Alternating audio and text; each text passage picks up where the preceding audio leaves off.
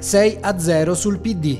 Matteo Salvini sintetizza così il sesto successo consecutivo dalle politiche in poi. In Sardegna vince Cristian Solinas, candidato del centrodestra, secondo Massimo Zedda, sindaco di Cagliari, candidato del centrosinistra, ultimo De Sogus, candidato del Movimento 5 Stelle. Per Luigi Di Maio la sconfitta sarda non produrrà contraccolpi sul governo, ma nel movimento iniziano le contestazioni. Ora la sua leadership è in discussione, dicono i parlamentari dissidenti. Cambia il mercato del lavoro in Italia. Da una parte triplicano le fughe all'estero alla ricerca di un'occupazione, dall'altra aumentano gli stranieri che hanno trovato lavoro in Italia, aumentati del 3,5% negli ultimi dieci anni. È quanto emerge dal rapporto sul mercato del lavoro 2018 redatto dal Ministero del Lavoro, Istat, IMS, INAIL e ANPAL.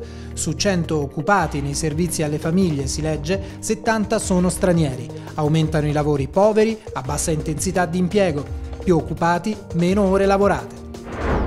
Un bonus per le lavoratrici donne, sindacati in pressing sul governo per riconoscere un anno per ogni figlio e favorire così l'accesso alla pensione delle donne, in gran parte escluse dal meccanismo di quota 100.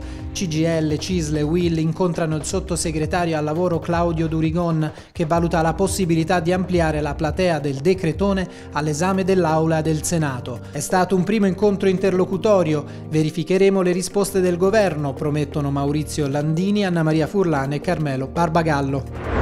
Gli italiani vogliono la verità per Giulio Regeni e Al-Sisi si è impegnato affinché questo avvenga. Giuseppe Conte incontra il presidente egiziano a Sharm el-Sheikh in occasione del primo vertice fra UE e Lega Araba. L'omicidio di Regeni, ha ribadito Conte, è una ferita che resta ancora aperta finché il caso non si risolverà. Dopo l'incontro con il presidente egiziano, il premier lascia trasparire un lieve ottimismo. Credo che si possa arrivare ad una soluzione per la verità giudiziaria.